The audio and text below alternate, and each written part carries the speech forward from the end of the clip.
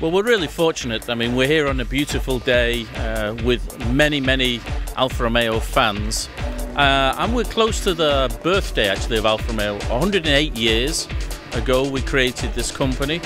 Uh, and we created uh, cars based on beauty and on design and driving performance.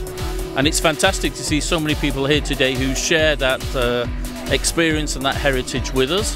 In 2014, we decided to reset uh, our goals in relation to Alfa Romeo and return to our heritage of racing roots and performance and introduce two great new cars that you see here today, which is the Giulia and Stelvio.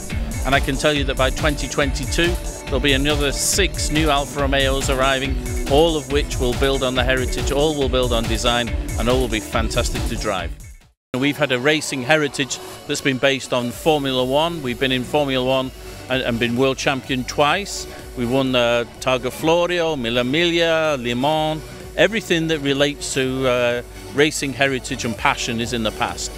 Now we like to refer to Alfa Romeo on La Meccanica dell'Emozione, the car of emotion, the car of passion, and that's what it is. It's not just a car, it's about the car, the people, the sound, the sight, the smell, and the driving ability. Um, we're investing heavily within this brand. The future is very bright, very positive. We'll be at the front again, and for sure we'll be at the front of Formula One again very soon.